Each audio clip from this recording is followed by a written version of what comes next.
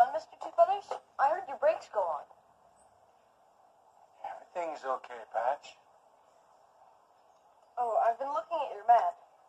What are these mysterious shadowy lines on it? They look like straight railroad tracks, but I can't see any tracks around here except the ones that you travel on. It's mysteries that make this land so. Magical? Well, I better be off to Muffle Mountain. I promised Mr. Stone that I'd clean out his yard today. Does Burnett Stone ever give you a smile? No, but he doesn't frighten my horse either. Which means I don't think he's a bad man.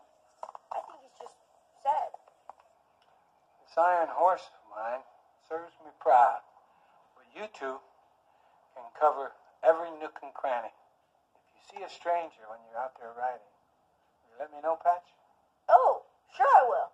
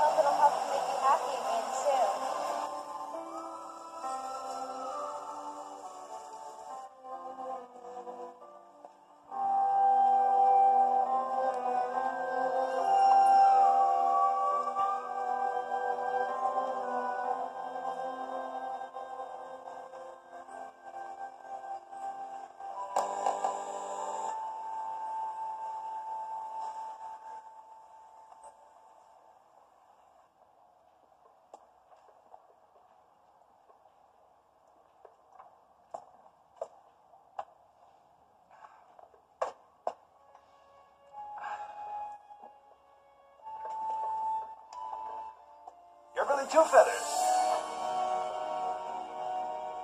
Who I am? P.T. Boomer. You left this valley a long time ago when I first became a railroader.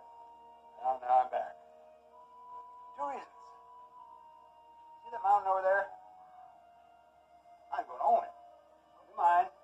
All mine. That mountain's not for sale. It belongs to Mother Earth. You'll never own it.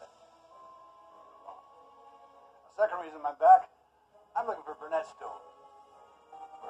Wherever he wants to be.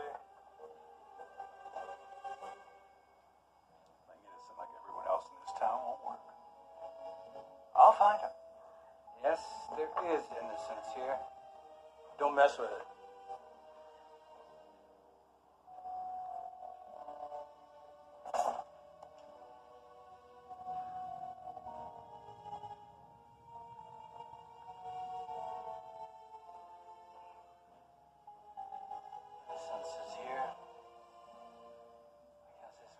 Built on land that's special.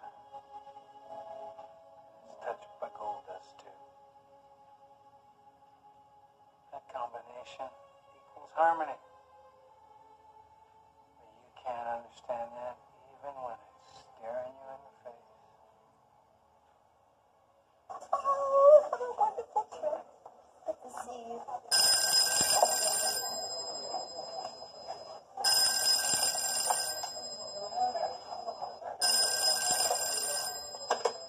Hello, Shining Time Station Manager Stacy Jones speaking. Oh, yes. The 1015 from Pelican Falls to Shining Time is right on schedule. You're welcome.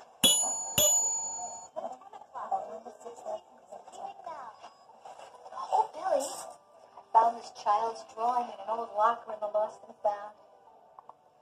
Look at the signature, Billy. Burnett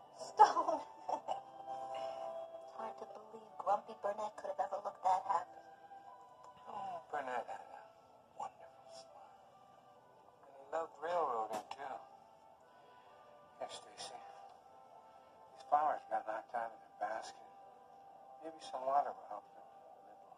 Why are they broken?